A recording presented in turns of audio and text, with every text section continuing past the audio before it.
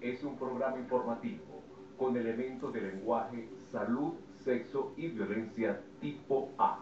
Y es una producción nacional independiente de Rafael Nieves, bajo el número 26588. Gerencia para Todos y Rafael Nieves acción con soluciones para alcanzar tus objetivos, estrategias productivas, economía, finanzas personales, emprendimiento, seguros y consumo inteligente.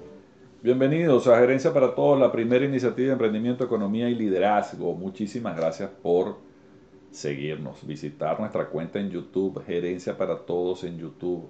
Está la colección completa de radio y televisión, todos los programas de Gerencia para Todos desde el año 2006. Estamos haciendo, por cierto, un esfuerzo de, para ordenar, porque hay muchísima información allá en esta cuenta de, de YouTube, para ordenarlo por temas, nos han pedido eso. Todas las observaciones que, por cierto, nos lleguen a través de nuestro email también, gerencia para todos ya arroba gmail.com, gerencia para todos ya arroba gmail.com. Las tomamos en cuenta, las críticas. Y a propósito de la cuenta de YouTube, nos han llegado algunas observaciones para ordenarlo mejor por temas. Ya está así, pero vamos a actualizarlo. Ordenarlo por temas, por invitados, eh, por temporadas. De modo que. Y también por medios, porque tenemos programas de radio y televisión. Entonces, vamos a, estamos ya realizando ese esfuerzo para ordenar eso debidamente. Mire, hoy vamos a conversar dentro de este ciclo de la máquina financiera sobre el tema del marketing, del mercadeo de la máquina financiera. Es muy importante. Ya hablamos del plan de negocios. Dentro del plan de negocios está el plan de mercadeo.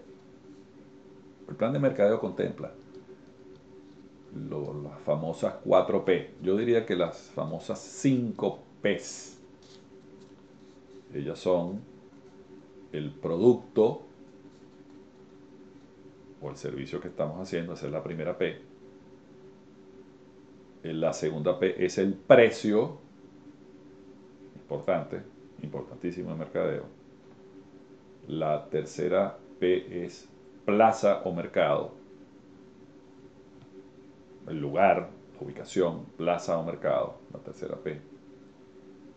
La cuarta P es promoción y publicidad. Promoción y publicidad. Y también la quinta P, que vamos a denominar personas.